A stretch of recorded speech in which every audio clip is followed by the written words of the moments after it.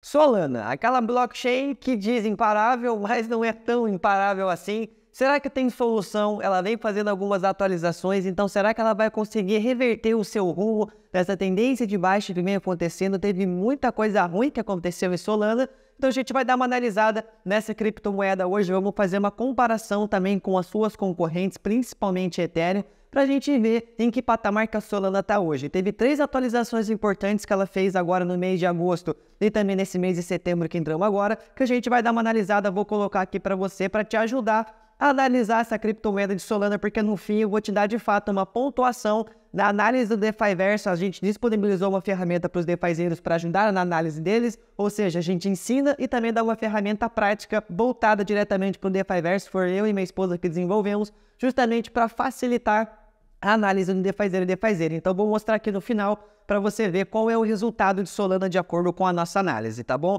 Então, vamos lá. Vamos cair para dentro. Tudo que eu peço em troca é que você deixe aquele like com esse vídeo, chegue a mais pessoas que possuem Solana e que ela consiga ter um discernimento melhor a analisar a alocação que ela vai ter na sua carteira, assim como você está fazendo agora. Fechou? E se fizer sentido, você pode se inscrever depois no canal também, que é de graça e você continua recebendo todos os conteúdos gratuitos de segunda, quarta e sexta aqui no canal. Então, qual foi a primeira atualização que nós tivemos em Solana? Inclusive, foi a mais que eu trago para vocês é essa parte aqui da Visa, em que a Visa agora vai utilizar a parte da blockchain Solana para ela conseguir fazer as finalizações das transações e ser mais barato e mais escalável. A Visa ela já fez esse teste piloto aqui, ó, justamente com o Ethereum para liquidar os pagamentos denominados na moeda fiduciária, euro, dólar, real. Isso aqui são moedas fiduciárias, moedas fiat, tá bom? O que, que a gente tem? Agora ela está fazendo com Solana, porque o objetivo aqui é ter mais escalabilidade e também ser mais barato. Então isso acaba atraindo uma demanda maior para Solana, uma maior visibilidade, tendo a Visa ali em conjunto com essas empresas aqui que vão utilizar a parte da blockchain da Solana. Isso acaba sendo legal porque atrai mais demanda e utilidade ali para a rede. Ok, já foi feito com Ethereum, mas eles querem um pouco mais de escalabilidade, baratear um pouco isso daí, e Solana de fato serve muito bem para isso. É um pouco mais escalável, é mais barata, mas tem aquele ponto do trilema da blockchain que acaba sendo mais centralizado do que outras blockchains. O segundo ponto que eu achei interessante é que ela acabou de integrar também aqui no dia 23 de agosto com a Shopify, ou seja, como uma opção também de pagamento. As pessoas pagarem através da blockchain da Solana, ter essa finalização mais rápida, pagar mais barato nas taxas de gás e ter esse e-commerce aqui funcionando com o pagamento em Solana. É mais uma vez interessante, por quê? Porque está demandando espaço em bloco de Solana, está pagando taxas, ou seja, está utilizando a rede. Temos que ver um pouco mais a fundo se as pessoas de fato estão pagando pelos produtos aqui em Shopify e tudo isso através da blockchain da Solana em criptomoedas. Não é a maioria das pessoas que conhece esse ecossistema, que faz pagamentos em cripto, inclusive o DeFi Versus nós disponibilizamos esse tipo de pagamento, então tem uma noção do quantas pessoas pagam em criptomoeda e de quantas pessoas não pagam. Não é a maioria. Entretanto, já é uma visibilidade maior para Solana, atrai mais demanda, faz utilizar a blockchain, o que acaba sendo muito legal e acaba tendo mais demanda por bloco, espaço em bloco. Ok, também é um ponto positivo aqui para a Solana. E o terceiro e último ponto que eu fiquei curioso, mas não só eu, como toda a comunidade cripto não esperava isso daqui acontecer, é a transferência que o Maker vai fazer para a blockchain da Solana, tá? O endgame aqui da MakerDAO, se você não conhece o MakerDAO, MakerDAO foi o pioneiro na blockchain da Ethereum a implementar as finanças descentralizadas, protocolo de empréstimo. Ele criou justamente a parte ali do DAI, ou seja, deu uma unidade de conta para a blockchain da Ethereum. Já mencionei bastante com vocês aqui em questões da qual que é o problema da Cardano? Seria justamente a falta dessa unidade de conta. Lá na Cardano, se você mexe na blockchain, você vai ver que as coisas são cotadas em ADA, e, já, e justamente por isso, por uma falta de uma stablecoin, porque é uma blockchain que foca na descentralização, então eles não têm ali o SDC e o SDT no ecossistema, justamente para não ter essa ponta de centralização. Agora que foi desenvolvida a GEN, que é aquela criptomoeda algorítmica que está funcionando lá, vamos ver até onde isso, isso vai. Mas como a Maker implementou essa primeira unidade de conta da Ethereum, ajudou muito o ecossistema a crescer com mais rapidez. Por quê? Porque implementou esse ecossistema de finanças descentralizada, onde as pessoas tinham uma unidade de conta para fazer o empréstimo, para fazer as movimentações dentro da blockchain. Então a Maker, cara, é pioneira da Ethereum. Porém, o seu endgame agora, essa new chain que eles vão fazer aqui, eles vão jogar isso para dentro da rede da Solana dois pontos que eles estão tomando a decisão do porquê. Primeiro, porque falam do código base de Solana, que é fácil de ser implementado, que eles admiram esse código base deles lá. Entretanto, o próprio fundador da Solana, o Anatoly, já falou que, pô, desenvolver em Solana é como comer cacos de vidro. Então, não sei se eu acredito muito nisso, até porque eu vou te mostrar outras, outras ferramentas e que outras atividades de rede que vai mostrar que, em questões de desenvolvedores, a Solana está perdendo feio para Ethereum. Esse é um ponto que eles falaram. E o segundo ponto é justamente para você ter mais essa escalabilidade e porque na rede da Ethereum, isso daqui poderia muito bem, cara, ser uma camada 2 da Ethereum, essa chain como eles estão falando. Porém, se tiver algum erro, alguma coisa, eles teriam que fazer o quê? Um hard fork. E não é possível fazer um hard fork de uma camada 2. Agora, dentro de Solana, você poderia fazer um hard fork do seu projeto. Esses foram dois motivos que eles falaram aqui. Não só eu, como mencionei, mas a comunidade cripto também ficou surpresa com isso, com esse acontecimento, porque está saindo da Ethereum e indo para sua concorrente em busca de mais escalabilidade desse código aqui que eu achei meio estranho. O Vitalik, obviamente, também não gostou disso, inclusive depois que isso aconteceu, o Vitalik Buttery, ele despejou, né, vendeu esses tokens de MakerDAO aqui, esses tokens Maker, justamente por causa dessa troca que eles estão fazendo, essa new chain baseado em Solana. Então ele olhou para isso e falou: Bom, é muito skin the game, achei bem legal isso daqui também, e acabou vendendo essa participação em Maker aqui.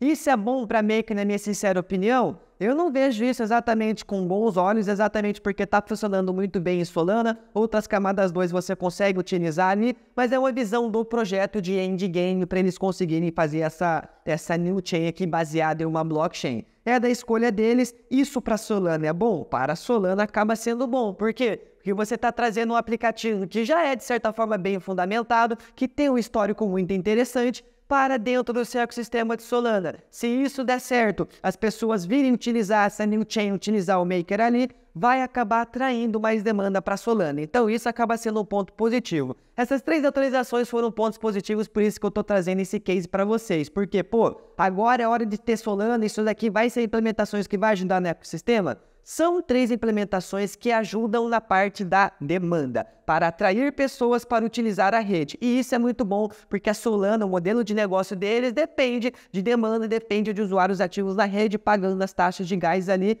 tudo certinho. Beleza, esses pontos são positivos. Porém, isso não é uma coisa clara que a gente vai ver agora resultados. Poxa, a gente vai ter que esperar um mês, um mês e meio para a gente ver se isso vai atrair mais demanda ou não e até essas coisas de fato serem implementadas. Porque hoje, quando a gente pega algumas métricas de Solana, não é muito bom. Ela acaba perdendo para várias outras redes e principalmente para a sua concorrente. Então, o que, que nós buscamos no mundo cripto? Tem uma coisa ensino dentro do DeFi Verso. Nós buscamos investimentos convexos, ou seja, com uma enorme oportunidade de ganho, sem limite de ganho, mas com um limite de perda, um limite ali da sua margem de segurança.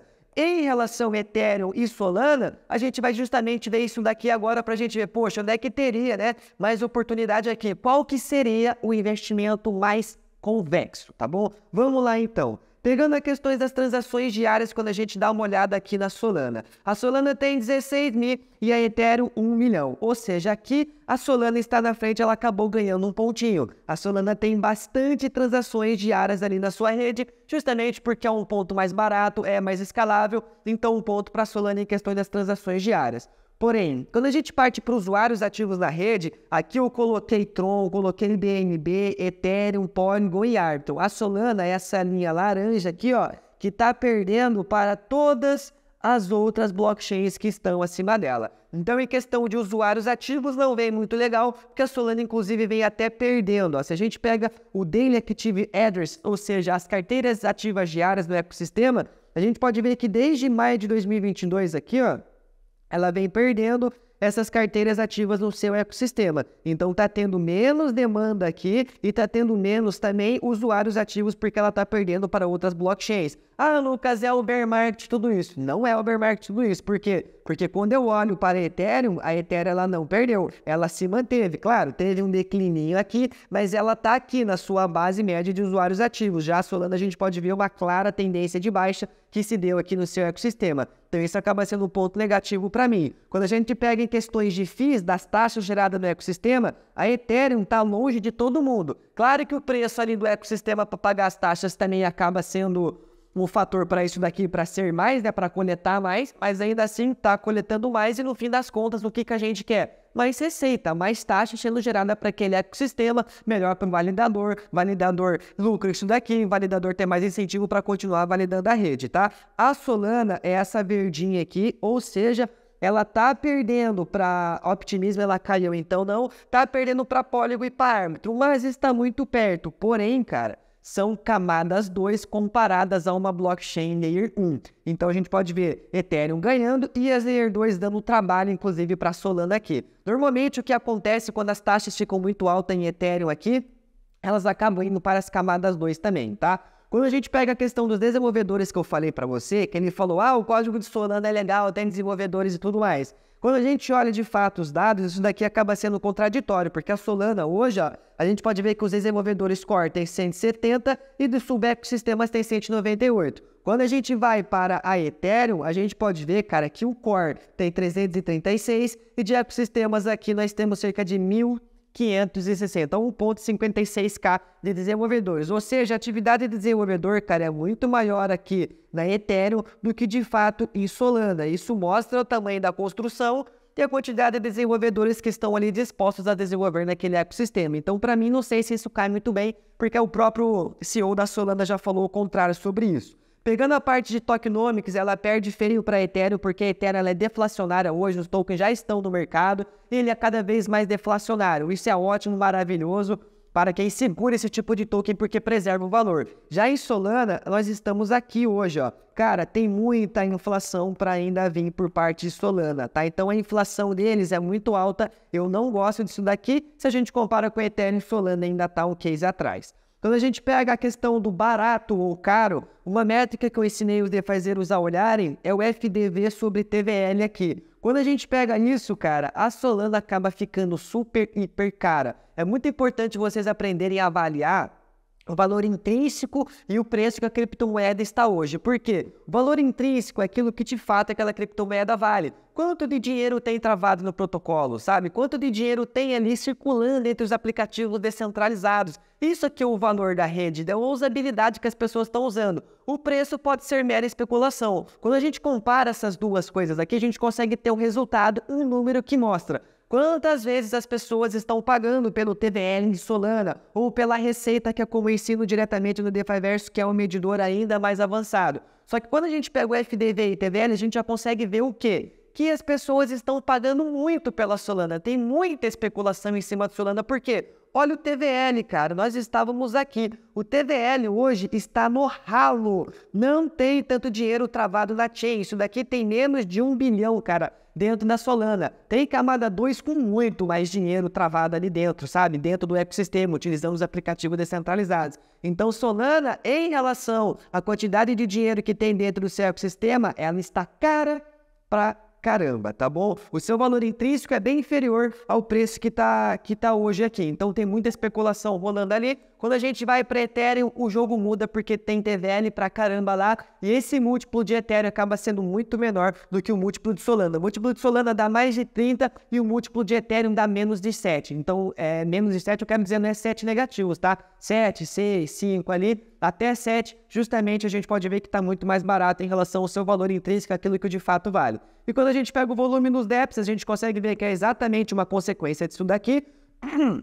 Em Solana a gente pode ver que temos o volume das DEX aqui cerca de 18 milhões 18 milhões, 18,6 milhões aqui. E na última semana, né, a média semanal é de cerca de 20 milhões. Quando a gente vai para Ethereum, mesmo as taxas sendo mais caras, a gente pode ver o seguinte, ó, os volumes das DEXs, 654 milhões. E a média nos últimos 7 dias, 707 milhões. Ou seja, tá dando um pau aqui em Solana, tá? Então, o Ethereum como ecossistema ela acaba sendo muito melhor. Por que, que eu falei da questão desse investimento convexo? Porque fica claro da gente analisar que de acordo com a demanda, usabilidade de rede, as duas são Layer 1. Então, a gente tem que comparar Layer 1 com Layer 1, tá bom? Porque os objetivos são praticamente iguais que eles querem ter ali com o seu ecossistema. Então, quando a gente compara um ou outro, a gente pode ver que o nosso upside em Ethereum acaba sendo muito maior do que o seu upside em Solana em questão de valor intrínseco, em questão de fato em fundamento. Então, o investimento mais convexo aqui seria em Ethereum.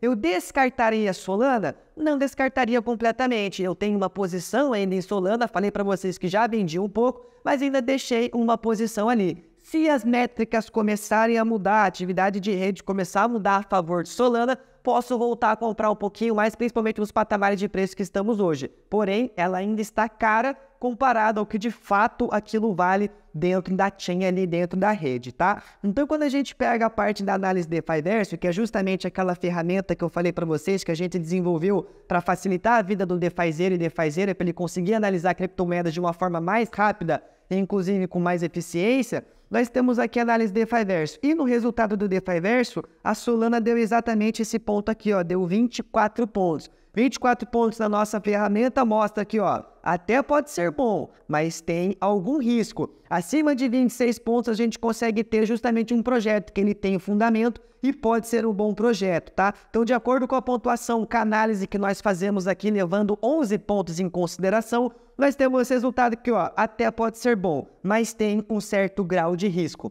E a esse certo grau de risco, você pesa em sua carteira quanto que Solana deveria estar ali. Na minha é pouco menos de 1%, inclusive devido ao momento de mercado que estamos agora, altcoin sangrando perante a Bitcoin e Ethereum, falei sobre isso para vocês também. Mas a questão é para vocês conseguirem pesar e, e, dosar, tá? Isso é o que eu faço nos meus investimentos, não é uma recomendação de investimentos para você, não estou falando que você vendeu para você comprar Solana, tá? Quero justamente te ajudar a sua forma de você analisar e conseguir rebalancear, ter uma, uma alocação estratégica na sua carteira. Fechou? Se eu conseguir, deixa o like aí, se inscreve no canal se você gostou para continuar recebendo mais conteúdos e me segue lá no Instagram, lucas.amendola com dois As no final. E essa análise de Verso aqui, as novas vagas vão abrir justamente no mês de novembro, tá bom? No dia 21 de novembro. Então, se você quiser fazer parte dessa última turma que nós vamos ter esse ano, aprender a analisar criptomoedas na sua essência, tirar os lixos da sua carteira, aprender a fazer renda passiva com pool de liquidez e montar a sua carteira com a estrutura barca que foi que eu desenvolvi